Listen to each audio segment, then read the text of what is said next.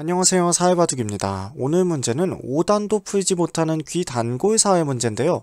정말 이 사회 잘못 알고 계시는 분들이 너무 많습니다. 함께 풀어보겠습니다.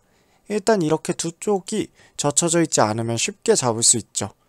여기에 젖혀서 막아도 들어간다면 쉽게 잡을 수가 있습니다. 이때는 여기 안 젖히고 뭐 붙이거나 반대쪽으로 젖히거나 치중 가더라도 쉽게 잡을 수 있어요. 그런데 여기 한쪽이 젖혀져 있으면 어떨까요? 이때는 이곳으로 두면 한 칸 뛰는 수가 있습니다. 그래서 백이 살게 돼요. 흙은 이렇게 잡으러 가면 안 되고요. 이럴 때는 여기 치중이 급소입니다. 백이 끊으려고 해도 결국 흙이 잡을 수가 있죠. 하나가 젖혀져 있을 때는 이쪽으로 치중 가는 수가 급소였습니다. 그런데 이 사활 문제에서 여기 두 개가 젖혀져 있으면 과연 어떤 결과가 나을까요? 5단 분들도 정확히 알고 계시지 못한 분들이 굉장히 많아요. 오늘 문제는 바로 이 모양인데요. 함께 풀어보겠습니다.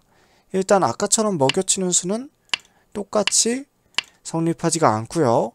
그렇다고 이쪽을 치중 가는 수 될 것 같지만 백이 이곳을 이어버려서 다음 수가 없어요. 흙이 단수 쳐도 뒤로 돌려쳐서 이거는 흙이 잡혔죠.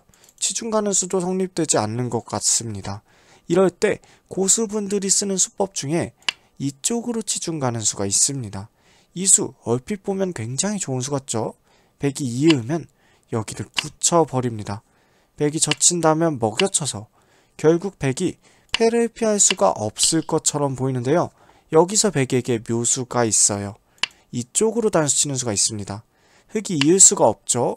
이곳을 이으면 넉점이 잡히면서 백이 살 수가 있기 때문에 흙은 따내야 되는데 먹여치고요.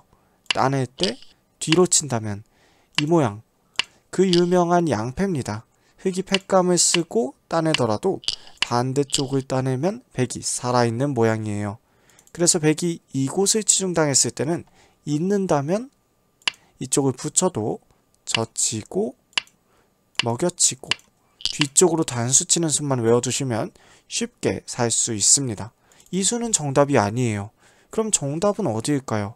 여기서 정답은 아까 말씀드렸던 이쪽 치중이 정답입니다. 백이 이곳을 이을 때 아주 좋은 수가 있는데요.